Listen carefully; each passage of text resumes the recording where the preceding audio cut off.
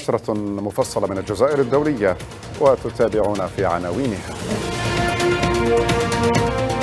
1640 شهيدا في لبنان ضمنهم أطفال ونساء منذ الثامن أكتوبر الماضي. عشرات الشهداء والجرحى جراء غارات صهيونية على مناطق جنوب وشرق لبنان. استشهاد سبعة مسعفين في غارة مكثفة للاحتلال على جنوب لبنان و216 غارة للاحتلال الصهيوني على مختلف أنحاء لبنان في 24 ساعة. انتشال جثمان حسن نصر الله من موقع الهجوم الجوي الصهيوني. حزب الله ينعى رسميا علي كراكي الرجل الثالث في هرمه القيادي. الحكومة اللبنانية تؤكد أن لا خيار إلا الدبلوماسية والعودة إلى القرار 1701 النزوح القسري يلامس مليون لبناني. جلسة طارئة لمجلس الأمن الدولي لبحث تطورات الوضع في لبنان والجزائر تشجب الاعتداءات الشنيعة والاغتيالات الممنهجة الجبانة والمقيتة. تسعة شهداء وواحد وأربعون جريحا جراء القصف الصهيوني على غزة خلال 24 ساعة. عشرات الشهداء والجرحى إثر غارات الاحتلال على مدرسة تؤوي نازحين في بيت لاهية وقصف شمال غزة. الجزائر وسلوفينيا تجددان دعمهما لحل عادل وشامل للقضية الفلسطينية. ومحادثات جزائرية موريتانية حول تطورات الأوضاع في الشرق الأوسط.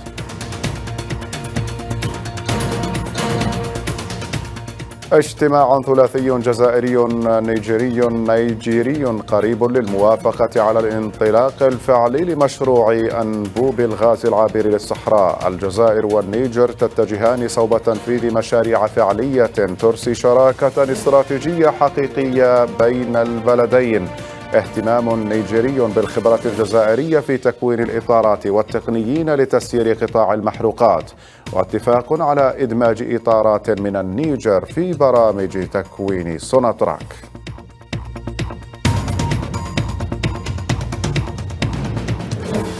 سلوفينيا تجدد تأييد المسار الأممي والتوصل إلى حل عادل ومستدام في الصحراء الغربية. البوليساريو تؤكد أن المغرب فاعل رئيسي في تهديد استقرار أفريقيا. تشدد على أن خطة التسوية الأممية هي السبيل الوحيد لحل النزاع. تطالب الاتحاد الأفريقي بفرض قانونه لإنهاء الاحتلال المغربي للأراضي الصحراوية.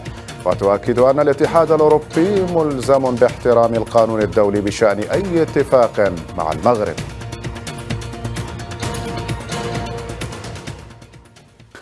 مرحبا. أهلا وسهلا بكم. المستهل بأخبار العدوان الصهيوني المتواصل على لبنان. بعد الفاصل.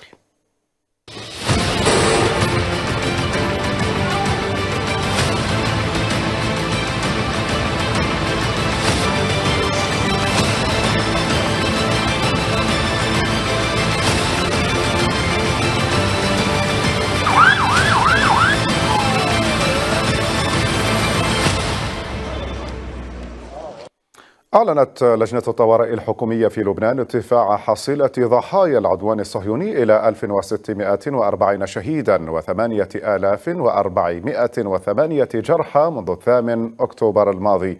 منسق اللجنة وزير البيئة اللبناني ناصر ياسين كشف في تقرير حول الوضع الراهن بأنه من ضمن الشهداء 104 أطفال و194 امرأة مشيرا إلى أن الحصيلة غير نهائية بالنظر إلى وجود مفقودين وعدد من الشهداء تحت الركام بعضهم أشلاء كما كشف المسؤول اللبناني عن سقوط 11 شهيدا و108 جرحى خلال 24 ساعة جراء الغارات الصهيونية.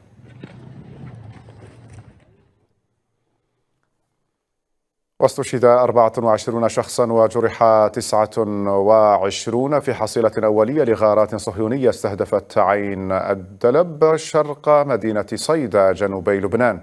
وأفادت وسائل إعلام لبنانية بأن قوات الاحتلال الصهيونية ارتكبت مجزرة بعد قصفها مبني من أو مبنى من خمسة طوابق يؤوي نازحين ما أسفر عن استشهاد 24 شخصا وفق تقديرات أولية لوزارة الصحة اللبنانية. وأعلنت وزارة الصحة اللبنانية الأحد عن استشهاد 21 شخصا في غارات صهيونية استهدفت شرق البلاد الذي يتعرض مع جنوبها والضاحية الجنوبية لعدوان صهيوني عنيف لليوم السادس على التوالي. وأفادت الوزارة في بيان بأن الغارات الصهيونية استهدفت بعلبك الهرمل في شرق لبنان وأدت بحصيلة أولية إلى استشهاد 21 شخصا وإصابة 47 آخرين بجروح. نسونا دخيلكم. كما استشهد 17 لبنانيا على الأقل من عائلة واحدة جراء غارة شنها الطيران الصهيوني على بلدة العين في البقاع الشمالي جنوبي لبنان. وأفادت وكالة الأنباء اللبنانية بانتشال جثامين 17 شهيدا من عائلة واحدة إلى غاية اللحظة بعدما أبادهم الاحتلال بغارة استهدفت منزلهم في بلدة العين شمالي بعلبك. فيما لا يزال البحث جاريا عن ناجين محتملين تحت الأنقاض.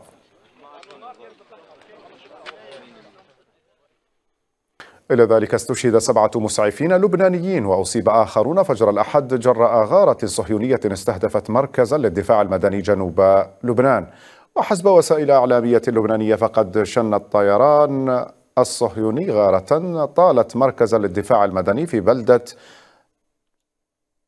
طير دبا وحومين ما أدى إلى ارتقاء سبعة مسعفين وجرح آخرين كما قصفت طائرات الاحتلال الحربية قضاء صور والنبطية وبعلبك جنوب وشرق لبنان مخلفة إصابات.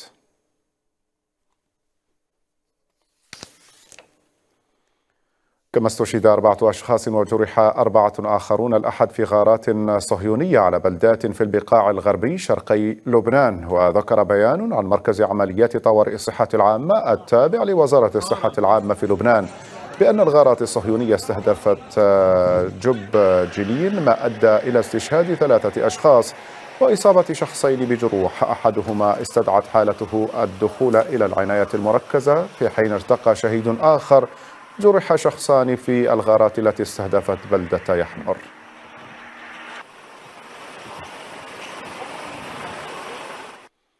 هذا وتجددت الغارات الصهيونية الأحد على عدد من البلدات والقرى بجنوب لبنان وفق ما أفادت به وسائل إعلام لبنانية. ونقلت وكالة الأنباء اللبنانية بأن طيران الاحتلال الصهيوني أغار على أطراف بلدة رشكنانيا قضاء صور كما حلق بشكل مكثف فوق منطقة جزين وعلى علو منخفض. وفي بعلبك استهدفت طائرته بلدة النبي شيت بغارتين دمرت إحداهما بيتا في حي سكني. وهي البناية اللي نزلت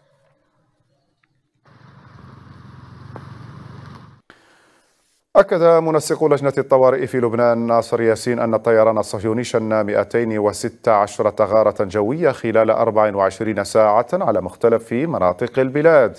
وكثف طيران الاحتلال الحربي الأحد غاراته على لبنان مستهدفا عددا من المنازل ومراكز الدفاع المدني في قرى وبلدات جنوبي البلاد وفي الضاحية الجنوبية من العاصمة بيروت مخلفا عشرات الشهداء والجرحى. أفادت وسائل إعلام لبنانية ودولية بانتشال جثمان الأمين العام لحزب الله اللبناني حسن نصر الله من موقع الغارات الصهيونية على الضاحية الجنوبية لبيروت. وذكرت تقارير صحفية أن الجثمان انتشل السبت ونقل إلى المستشفى حيث تجري فحوصات لمعرفة طبيعة الإصابة والسبب المباشر للوفاة وأن الجثمان لم يتعرض لإصابة مباشرة مما يعزز ترجيحات حدوث الوفاة بسبب الصدمة الناتجة عن قوة الانفجار.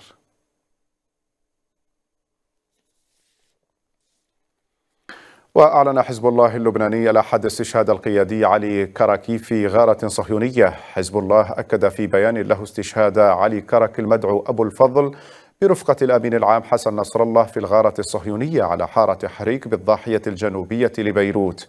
ويعد كركي الرجل الثالث وقائد الجبهة الجنوبية في الحزب كما يعد أرفع قائد عسكري وأبرز أعضاء ما يعرف بالمجلس الجهادي وهو الجناح العسكري والأمني لحزب الله.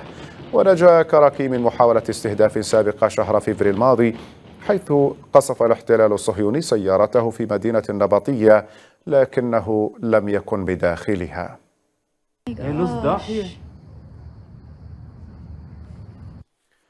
أكد رئيس حكومة تصريف الأعمال اللبنانية نجيب ميقاتي أن بلاده متمسكة بتطبيق القرار 1701 وأن الجيش جاهز لتنفيذه. ميقاتي وفي مؤتمر صحفي عقب ترأسه وعقب ترأسه اجتماعا للجنة الطوارئ الحكومية الأحد أشار إلى أن أولوية الحكومة هي وقف العدوان الصهيوني المستمر عبر متابعة الدور الدبلوماسي الذي ليس هناك خيار سواه وفق تعبيره.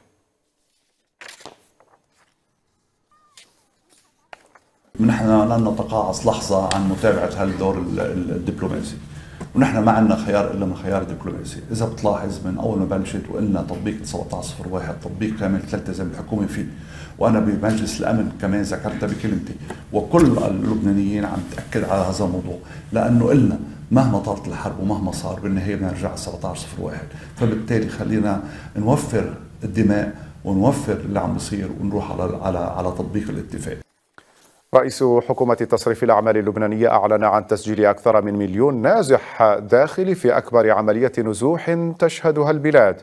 ووصف ميقات حركة النزوح الحالية بأنها الأكبر في تاريخ لبنان حيث فر عدد كبير من المواطنين من مناطقهم بحثا عن الأمان والمأوى. العدد كثير كبير. المقدر ممكن يوصل لحديث مليون نسمة. مليون شخص لبناني يتحركوا من مكان لمكان خلال أيام. هي أكبر عملية يمكن نزوح صارت صارت بالمنطقة أو بلبنان. هذا وسجلت السلطات اللبنانية نزوح أكثر من 77 ألف شخص نحو الأراضي السورية منذ الاثنين الماضي بسبب تصعيد العدوان الصهيوني على البلاد. وأعلن منسق لجنة الطوارئ الحكومية وزير البيئة ناصر ياسين أن مصالح الأمن أحصت 41307 لبنانيين و36188 سوريا نزحوا إلى سوريا في المدة الممتدة من الثالث والعشرين إلى التاسع والعشرين سبتمبر الجاري. فيما بلغ عدد النازحين داخليا المسجلين في مراكز الإيواء المعتمدة من قبل غرفة العملية اللبنانية 116100 نازح وفق ذات المسؤول الذي أكد أن القدرة على استيعاب النازحين وصلت حدها الأقصى في المؤسسات التعليمية الرسمية المخصصة لذلك. مع تصعيد الاحتلال الصهيوني عدوانه على لبنان مخلفا أكثر من ألف شهيد نزح نحو مليون لبناني من الجنوب إلى الشمال هربا من نيران الاحتلال. حاملين معهم ما تيسر من أغراض وفروا من مدنهم وقراهم بعدما طالها القصف بحثا عن مأوى أو ملجأ بعيدا عن الحرب. بحثا عن مأوى أو ملجأ يحميهم من صواريخ الاحتلال. عشرات الآلاف من اللبنانيين يفرون من جحيم الحرب والوجهة غير معلومة. تركوا كل شيء خلفهم أحياءهم ومنازلهم وذكرياتهم. لم يأخذوا شيئا سوى مخاوفهم من مستقبل مجهول وتساؤلات حول مصيرهم القادم. في وطن مزقته الحرب وتكالبت عليه الأمم. ما حتقدروا تدمرونا شو ما تعملوا؟ وقت ما تقصفوا وقت ما تهجروا رح نضل بلبنان وما حنفل من هون. وهيدا بلدنا وهون باقيين. شو بدكم تعملوا؟ اعملوا. ما بهمنا. ليتحول هؤلاء بين ليلة وضحاها من أصحاب أرض إلى عالقين ومشردين في وطنهم بعد رحلات فرار تحت جنح الظلام مصحوبة بآلام في صدورهم جراء ترك الوطن والأهل. أكبر خسارة للبلد وللشعب وللعالم العربي كامل. أكثر من هيك شعور شو بدك؟ يعني مو معروف شيء هيكنا بالشوارع عم ننام بالشوارع. يعني حياة هلأ صارت كون زفت واتكاء رب العالمين. تحت غطاء حرب الإبادة والتدمير تجري عملية تهجير قسري في لبنان تماما كما يحدث في غزة. عائلات لبنانية وسورية أجبرها الاحتلال على ترك منازلها وافتراش شوارع صيدا وبيروت بل وحتى طرابلس بعد غارات الضاحية الجنوبية. لجأت من سوريا ورجعت هلأ رج... لجأت من الضاحية على بيروت هون ووضعي صعب كتير صعب. معي عائلة ومعي خمس بنات وصبي وبيت أخوي وما عرفانين حالنا وين بدنا نروح. هي المشكلة إنه ما عرفانين شو مصيرنا. أنا مريضة سكر بركت في الأرض لا بأحسن أطلع أجيب أولادي من بيتي ولا بأحسن أمشي. يعني شلون المنظر ما بعرف أصيح من تحت والضرب فوقنا. يعني نحن بس بدنا شيء مكان آمن نحن منا طالبين شيء لا بدنا لبس ولا بدنا معونة ولا بدنا أكل ولا بدنا شرب.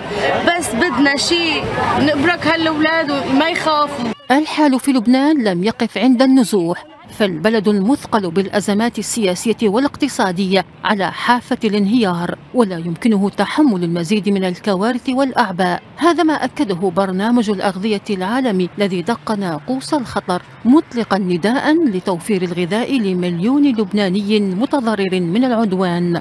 مشاهد النزوح في لبنان أعادت إلى الأذهان سيناريوهات تهجير سكان غزة قسرا بعدما أجبرتهم آلة القتل والتدمير على الرحيل تحت قصف همجي متواصل لا يهدأ.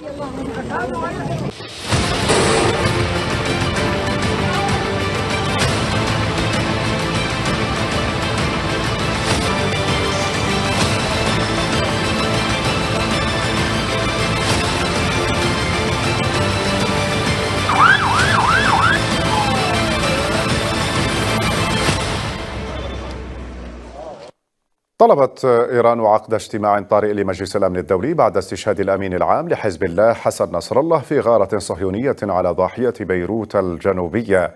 ودعا سفير إيران في الأمم المتحدة أمير سعيد عرفان المجلس إلى اتخاذ إجراءات فورية وحاسمة لوقف العدوان الصهيوني ومنع جر المنطقة إلى حرب شاملة.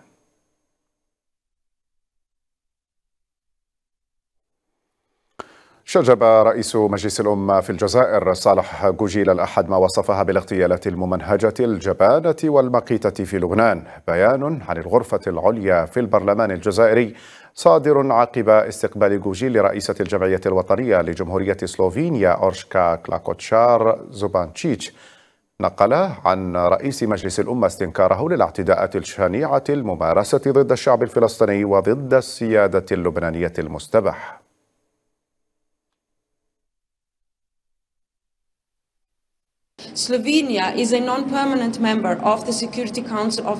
سلوفينيا عضو غير دائم في مجلس الأمن وهي تقف بحزم من أجل السلام العالمي ومن أجل إعادة النظر في قرارات الأمم المتحدة. سلوفينيا تدعو إلى وقف فوري للحرب في الشرق الأوسط.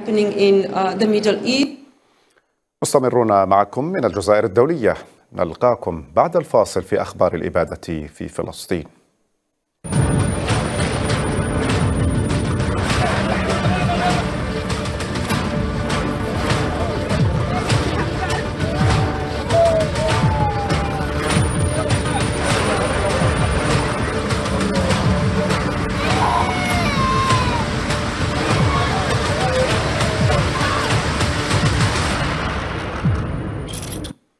أعلنت وزارة الصحة الفلسطينية في غزة الأحد عن ارتقاء تسعة شهداء وإصابة 41 على الأقل خلال 24 ساعة جراء القصف الصهيوني المتواصل على قطاع غزة.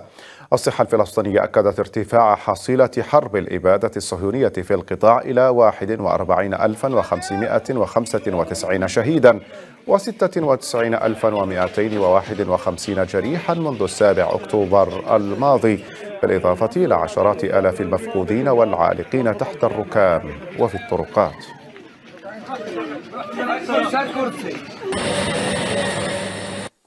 واستشهد ستة فلسطينيين على الأقل وأصيب آخرون فجر الأحد جراء القصف الصهيوني على شمال قطاع غزة. وأفادت مصادر طبية فلسطينية بسقوط ثلاثة شهداء على الأقل وإصابة عدد آخر إثر استهداف طيران الاحتلال. شقة سكنية في محيط مفترق الشعبية وسط مدينة غزة.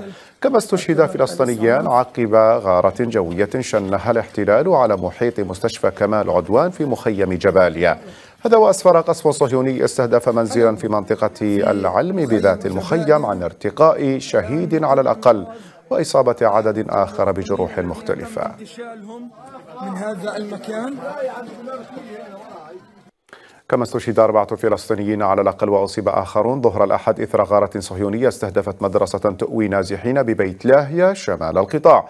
وأفادت مصادر طبية لوكالة الأنباء الفلسطينية باستشهاد أربعة نازحين وإصابة 15 آخرين. معظمهم من الأطفال والنساء جراء قصف طائرات الاحتلال الحربية بصاروخين مدرسة أم الفحم الواقعة في منطقة السلاطين غربي بلدة بيت لاهيا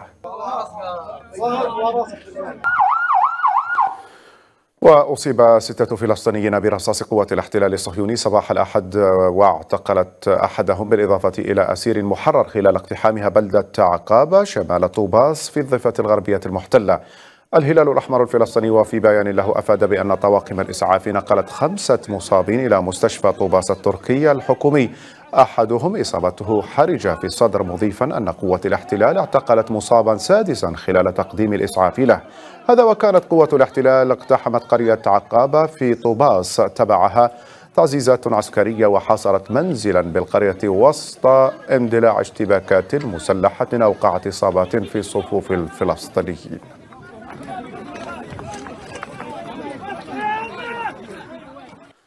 وصل الاحتلال الصهيوني حملات الاعتقال في الضفة الغربية المحتلة بوتيرة غير مسبوقة حيث اعتقلت قوته يومي السبت والأحد أربعين فلسطينيا.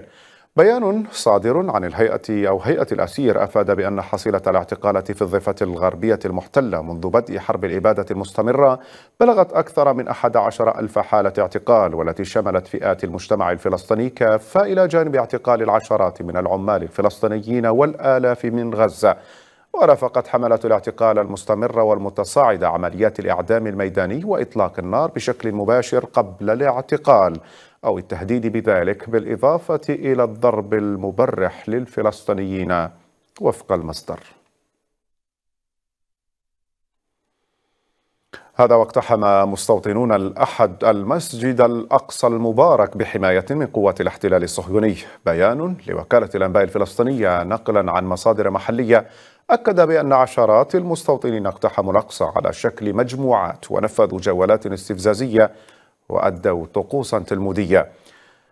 وتشهد القدس القديمة وبواباتها إجراءات عسكرية مشددة تتمثل في التفتيش الدقيق للفلسطينيين والمصلين في الأقصى والاعتداء عليهم. جددت الجزائر وسلوفينيا الأحد تأييدهما لحل عادل وشامل للقضية الفلسطينية. جاء ذلك لدى استقبال رئيس مجلس الأمة في الجزائر صالح جوجيل لرئيسة الجمعية الوطنية لجمهورية سلوفينيا أورشكا كلاكوتشار زوبانتشيتش. جوجيل دعا بالمناسبة جمهورية سلوفينيا إلى العمل جنبا إلى جنب مع الجزائر في هيئة الأمم المتحدة وفي مجلس الأمن الأممي من أجل إيجاد حل منصف للقضية الفلسطينية. بما يتماشى مع المواثيق والمقررات الأممية في هذا الشأن. بدورها أكدت زوبانتشيتش موقف بلادها الواضح مما تعيشه الأراضي الفلسطينية والداعي إلى وقف فوري لإطلاق النار.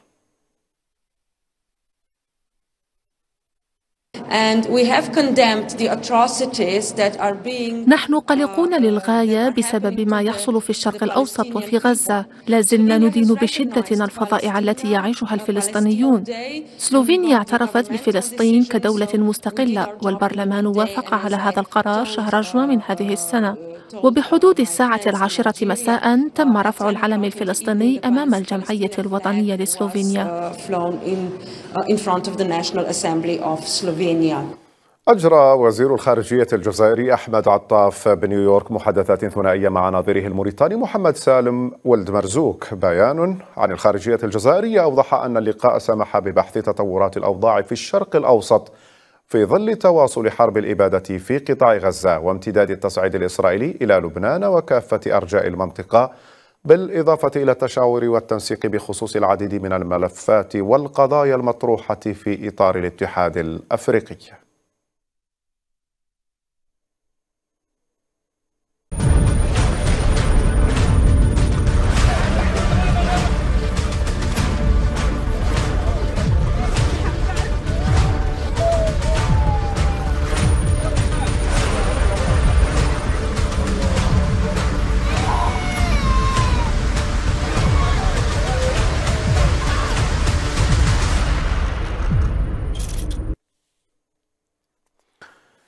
شنت قوات الاحتلال الصهيوني الأحد غارات جديدة على ميناء الحديدة في اليمن للمرة الثانية.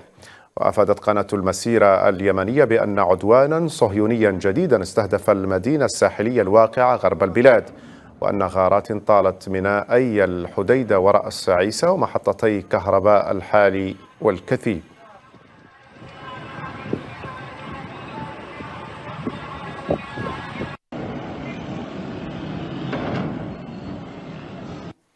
هذا وقتل أربعة أشخاص على الأقل وأصيب 33 آخرون في الغارات الجوية الصهيونية على مينائين ومحطتي كهرباء في محافظة الحديدة غرب اليمن. وأشارت قناة المسيرة اليمنية إلى سقوط أربعة شهداء منهم عامل في الميناء وثلاثة مهندسين في محطة كهرباء الحالي وثلاثة وثلاثين جريحا في حصيلة أولية للعدوان الصهيوني على المحافظة.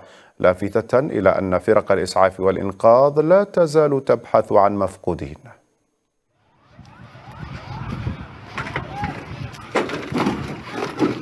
هذا المحطة رقم واحد وهذه المحطة رقم اثنين. هذه محطة جديدة عادها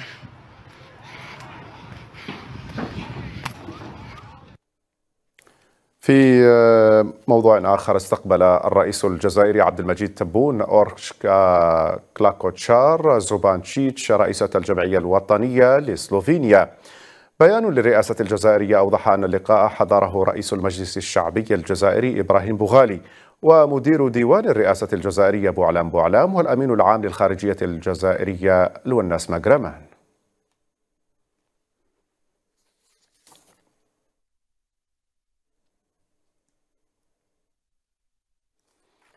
وفي تصريحات أدلت بها عقب استقبالها من طرف الرئيس الجزائري أكدت رئيسة الجمعية الوطنية لسلوفينيا أورشكا كلاكوتشار زوبانشيش أن الجزائر وبلادها يناضلان من أجل القيم نفسها ويدعمان بعضهما وذلك من منطلق منطلق عضويتهما في مجلس الأمن الدولي.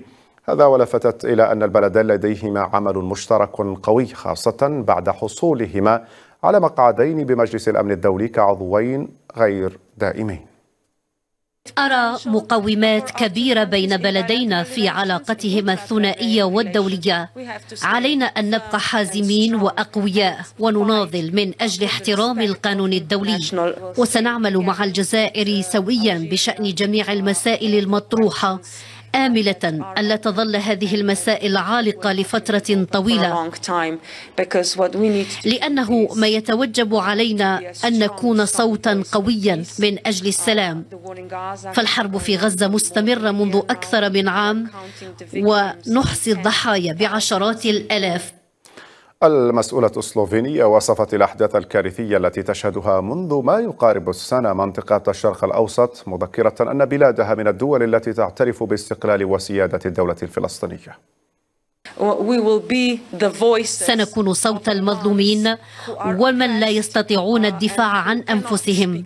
وأقصد بذلك الأحداث الكارثية في الشرق الأوسط منذ ما يقارب السنة.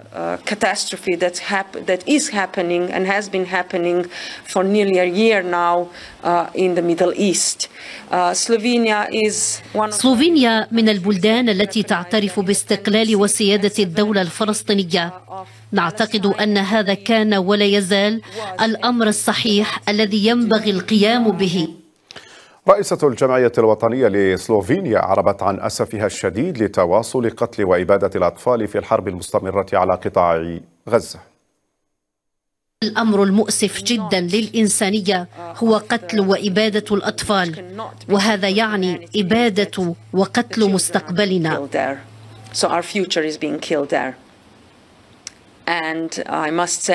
ندعو إلى إرساء السلم في غزة.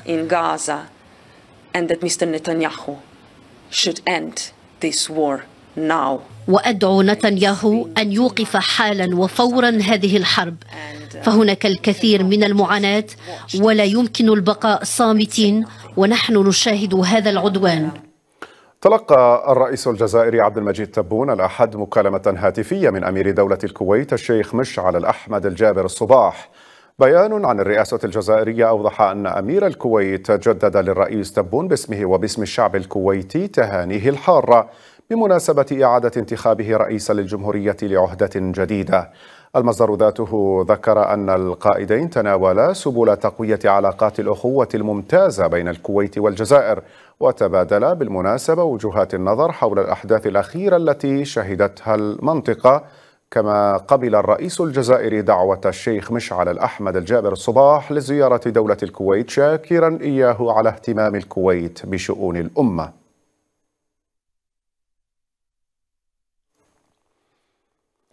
دعت الجزائر مجموعة السبع والسبعين زائد الصين إلى مواصلة المطالبة بإصلاح شامل للمنظومة المالية والنقدية الدولية لتصبح أكثر استجابة لتحديات العصر الراهن وأكثر إنصافا وتمثيلا للدول النامية وأكثر ملائمة مع مستلزمات برامج التنمية المعتمدة على الصعيدين الإقليمي والعالمي. وأثناء مشاركته في اجتماع وزراء خارجية المجموعة بمقر منظمة الأمم المتحدة في نيويورك تزامنا مع الذكرى الستين لإنشاء المجموعة شدد وزير الخارجية الجزائري أحمد عطاف على ضرورة التحدث بصوت واحد في مختلف المحافل العالمية بغية الدفع بالمجموعة الدولية إلى معالجة أكبر إشكالية ترمي بثقلها على جهود التنمية والمتمثلة في مسألة العجز في التمويل الذي يقدر بأربعة آلاف مليار دولار. نحن مدعوون لحشد جهودنا بغرض الدفع بالمجموعة الدولية إلى معالجة أكبر إشكالية ترمي بكل ثقلها على جهود التنمية ألا وهي إشكالية العجز؟ في التمويل الذي يقدر ب 4000 مليار دولار وفقا لمنظمة الأمم المتحدة للتجارة والتنمية. من هذا المنظور من الضروري أن نتحدث بصوت واحد بشأن هذا الموضوع بمختلف المحافل الدولية وعلى رأسها المؤتمر الرابع لتمويل التنمية. كما أبرز الوزير الجزائري أهمية التجند في إطار مجموعة السبع والسبعين من أجل رفع التحديات المشتركة على رأسها إزالة الفوارق التنموية بين الشمال والجنوب وكسب رهان محاربة الفقر ومعالجة أعباء المديونية وتجسيد أهداف التنمية المستدامة. مستذكرا في السياق ميثاق الجزائر التاريخي لشهر أكتوبر 1964 الذي وضع البناء المؤسساتي لمجموعة السبع والسبعين وحدد أهدافها الاستراتيجية. لا يفوتني ولقاؤنا يتزامن مع الذكرى الستين لإنشاء تكتلنا هذا. أن أستذكر ميثاق الجزائر التاريخي والتأسيسي لشهر أكتوبر 1964 وهو الميثاق الذي وضع البناء المؤسساتي لمجموعة 79 وحدد أهدافها الاستراتيجية بنظرة ملؤها الطموح والتفاؤل والتبصر.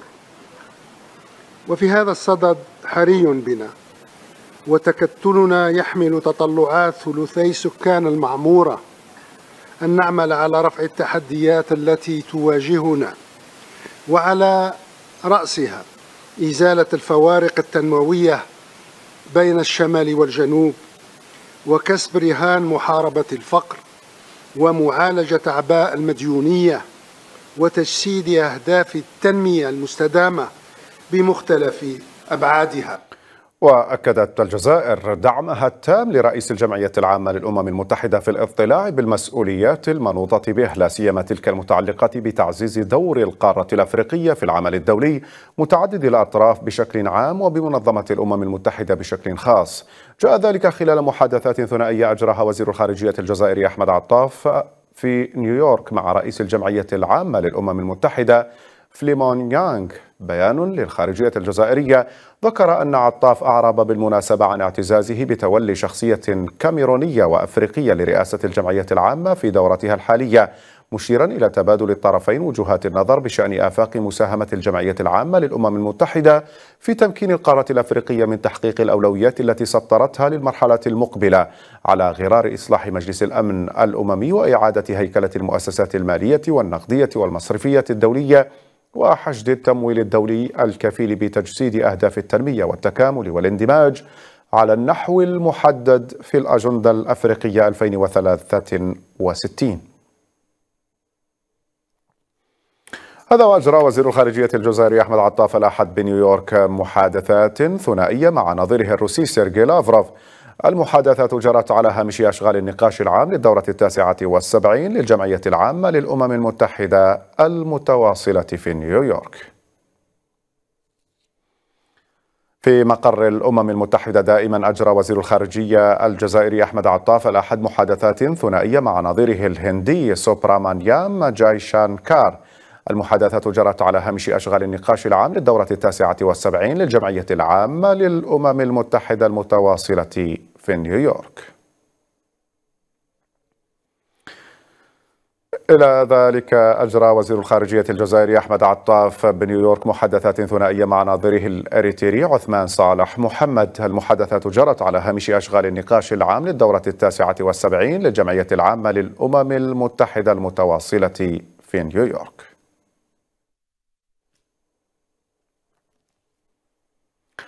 بنيويورك أيضا. أجرى وزير الخارجية الجزائري أحمد عطاف محادثات ثنائية مع وزير الخارجية والتجارة بجمهورية جزر مارشال كالاني كانيكو. المحادثات جرت على هامش أشغال النقاش العام للدورة التاسعة والسبعين للجمعية العامة للأمم المتحدة المتواصلة في نيويورك.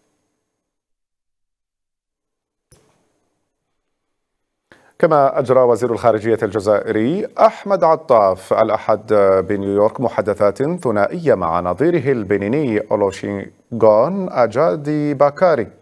بيان عن الخارجية الجزائرية ذكر أن الطرفين ناقشا آفاق توطيد التعاون الثنائي واستعرضا مستجدات الأوضاع السياسية والأمنية بالجوار المشترك للبلدين. أعلنت الجزائر غلقها نهائيا ملف انضمامها إلى منظمة بريكس رغم ترسيم عضويتها في بنك التنمية الجديد التابع للتكتل. وأفادت صحيفة المجاهد الجزائرية نقلا عن مصدر حكومي وصفته بالمطلع على الملف بأن موقف الجزائر يأتي ردا على شائعة متداولة تروج لفكرة أن بلدانا أعضاء من المنظمة تكون قد طلبت مرة أخرى من الجزائر الانضمام إلى هذا التكتل. الصحيفة تساءلت عن الدواعي الخفية لهذه الإشاعات التي تضع الجزائر في مقدمة الدول التي سيشملها توسيع منظمة بريكس مستقبلاً. ملف الانضمام إلى بريكس بالنسبة للسلطات الجزائرية قد أغلق. بل أبعد من ذلك فإن الجزائر طوت بشكل نهائي هذه الصفحة حتى وإن كانت عضوا في بنك بريكس. الأسباب التي دفعت الجزائر إلى إدارة ظهرها لهذا التكتل بسيطة ومنطقية. فإقصاء الجزائر خلال قمة جوهانسبورغ في أوت 2023 مع قبول ستة أعضاء جدد. قرار خال من أي حجج معقولة.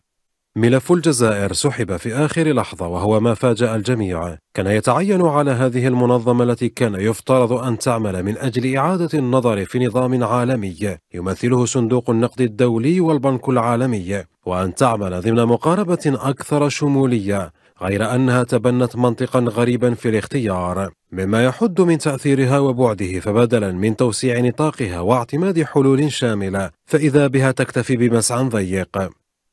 الجزائر بلد دون ديون خارجية وتتمتع بأكبر مساحة في إفريقيا كما تزخر بموارد معدنية وطاقوية هائلة وتملك منشآت قاعدية يحسدها عليها كل من في القارة منظمة بريكس التي تقدم نفسها كبديل اقتصادي عالمي. آثرت تجاهل هذا الاعتراف إلا أن هذا التعامل ليس غريبا وهو سر مكشوف للجميع.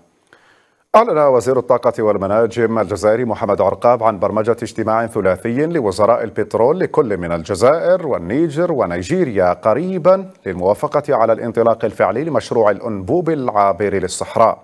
عرقاب وفي مؤتمر صحفي عقده برفقة وزير البترول لدولة النيجر صحابي عمارو في الجزائر العاصمة الأحد كشف عن الانطلاق في دراسة جدوى المشروع الاستراتيجي قريبا.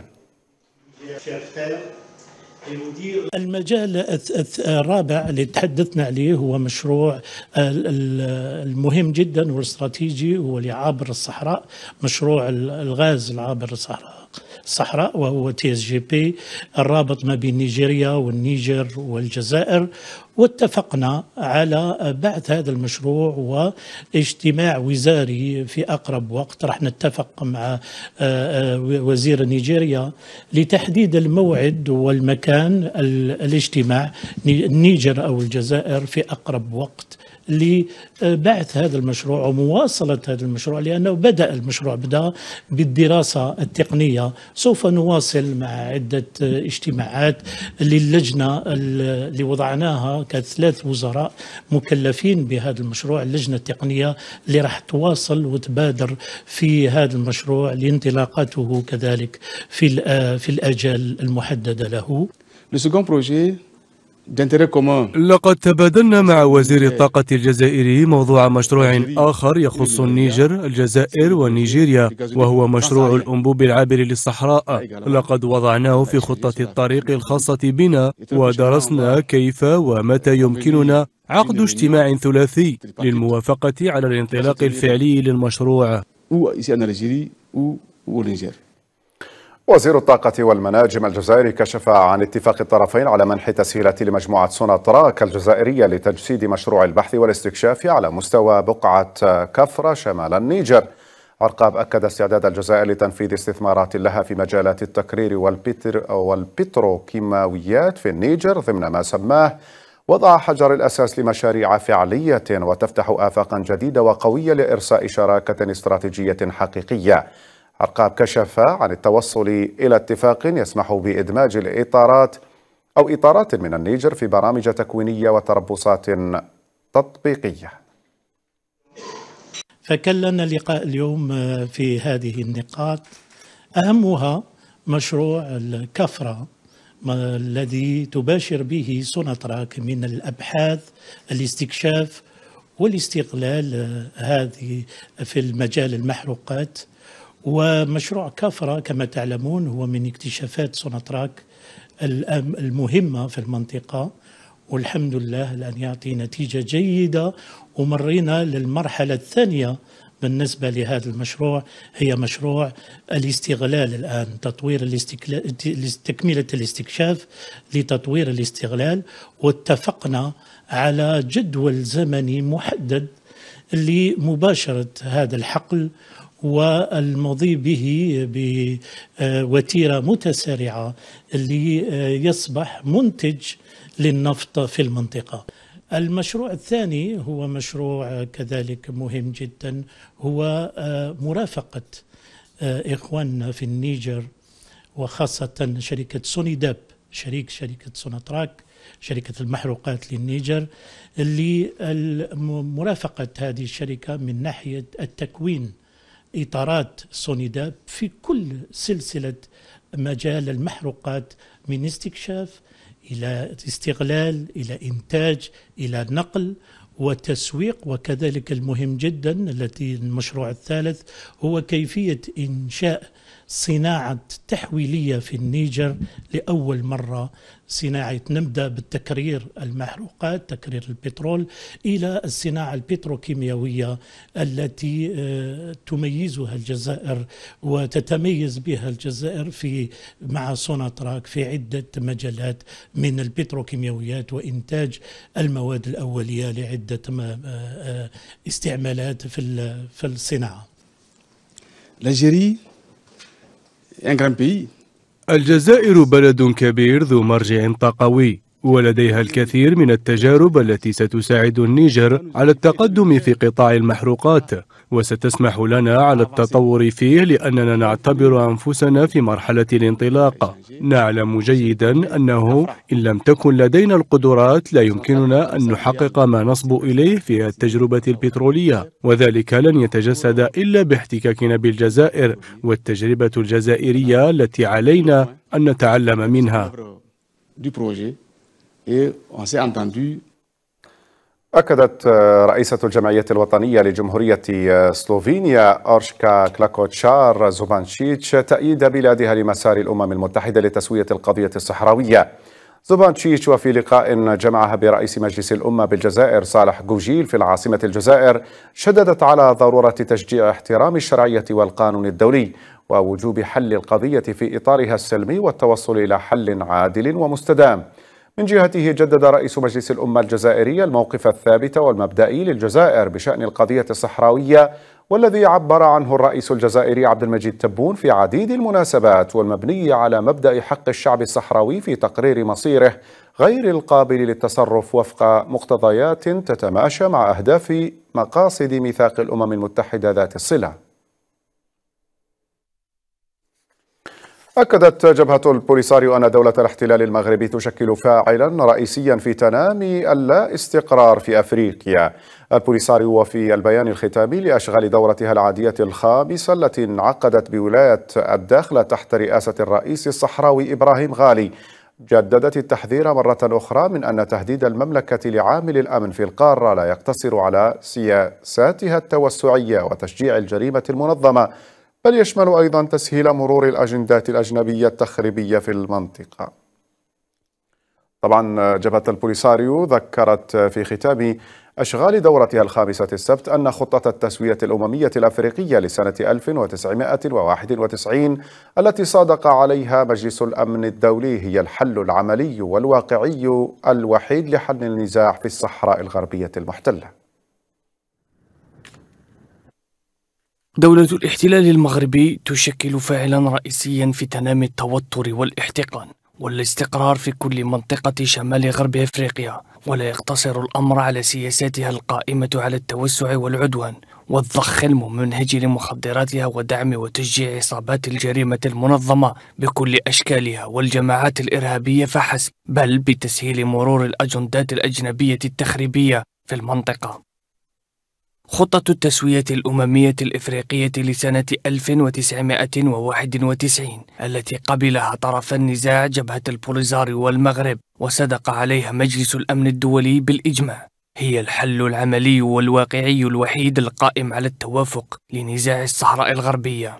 إن عرقلة ممارسة الشعب الصحراوي لحقه في تقرير المصير سيبقى مسؤولية الأمم المتحدة وبعثتها وإن المماطلات والعراقيل التي تعيق ذلك ستؤدي إلى المزيد من تهديد الأمن والاستقرار جبهة البوليساريو دعت الاتحاد الأفريقي إلى فرض تطبيق مبادئ وأهداف قانونه التأسيسي وإنهاء الاحتلال المغربي للجمهورية الصحراوية ووضع حد لتجاوزات المخزن. البوليساريو ذكرت بالمناسبة الاتحاد الأوروبي بإلزامية احترام القانون الدولي وقرارات محكمة العدل الأوروبية القاضية بعدم شرعية أي اتفاق مع المغرب يشمل إقليم الصحراء الغربية المحتلة.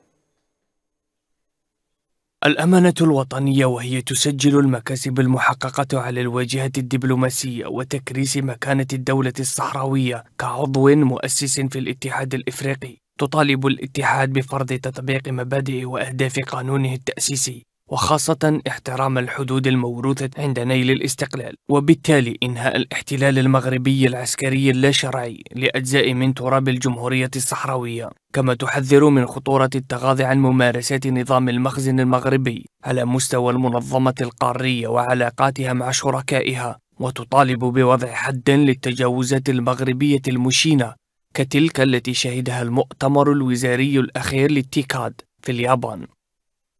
الاتحاد الأوروبي ملزم باحترام القانون الدولي والقانون الدولي الإنساني وقرارات محكمة العدل الأوروبية في الصحراء الغربية بالامتناع عن توقيع أي اتفاق يمس أراضيها أو أجوائها أو مياهها الإقليمية مع دولة الاحتلال المغربي.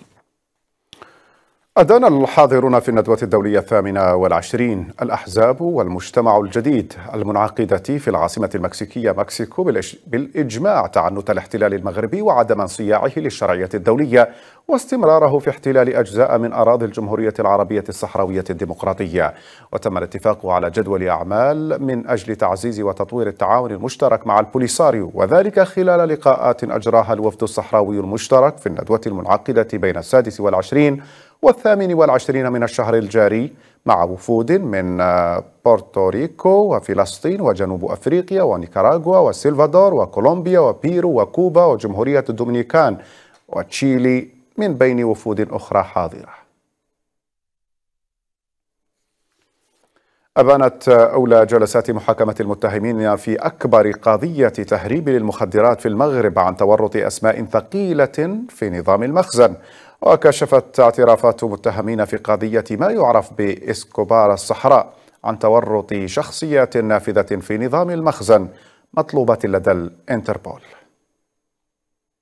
يوما بعد يوم تتكشف مزيد من الفضائح والأسماء الثقيلة في نظام المخزن المغربي فيما بات يعرف بقضية إسكوبار الصحراء. التي تمثل إحدى أكبر قضايا شبكات تهريب وترويج المخدرات عبر العالم. فيما يتعلق بهذا الشهود سواء كانوا شهود محضار أو شهود استماع اليهم قاضي تحقيق أو شهود لائحة ياك أنتم باغيين توصلوا غير الحقيقة.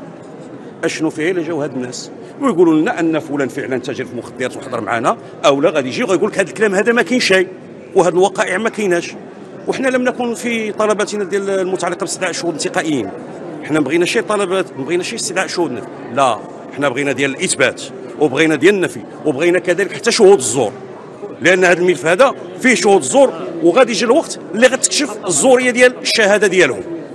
لم تقف صدمة المغربيين عند الأسماء الثقيلة في نظام المخزن في قضية إسكوبار الصحراء أو الحاج إبراهيم الذي أطاح بشخصيات سياسية كبيرة في المغرب في ليلة واحدة. إذ يطالب الدفاع بإحضار مزيد من الشهود والأسماء إضافة إلى المتورطين.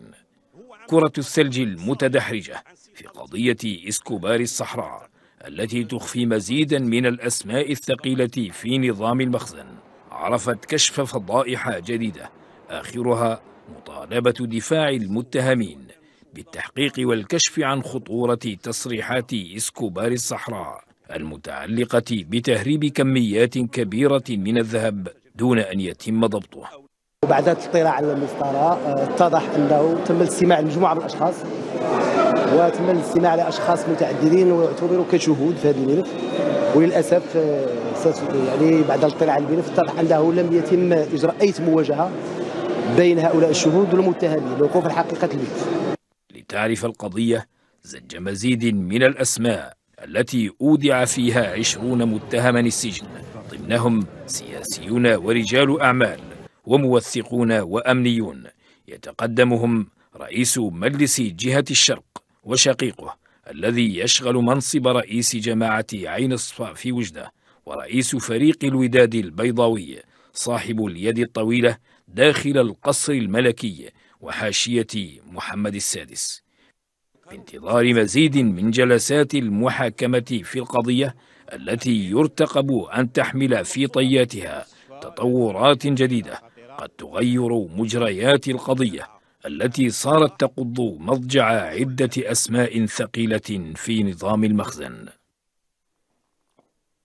شهدت مدينة الدار البيضاء المغربية ليلة السبت إلى الأحد وقفة احتجاجية حاشدة تنديدا بجرائم الاحتلال الصهيوني وللمطالبة بإسقاط جميع أشكال التطبيع مع الكيان المجرم ولدعم صمود الشعب الفلسطيني.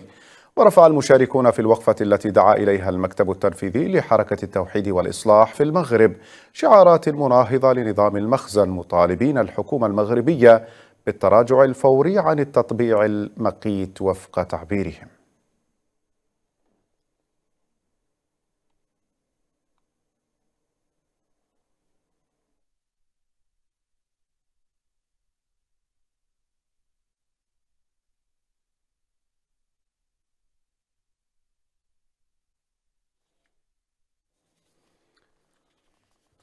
قال الرئيس التونسي قيس سعيد إن مصادقة النواب على مشروع قانوني يعدل أحكام القانون الأساسي المتعلق بالانتخابات يعد موقفا تاريخيا. رئيس قيس سعيد ولد استقباله لرئيس مجلس نواب الشعب إبراهيم بودربال السبت بقصر قرطاج نوه بالموقف الوطني المسؤول للمجلس الذي صادق على مشروع قانون الانتخابات معتبرا ذلك موقفا تاريخيا يعكس وعيا عميقا مفعما بالمسؤولية التاريخية على حد تعبيره. وحمل سعيد رئيس مجلس نواب الشعب إبلاغ تحياته الخالصة لأعضاء المجلس الذين استشعروا المخاطر التي يمكن أن تحف بوطننا العزيز فصادقوا على مشروع القانون.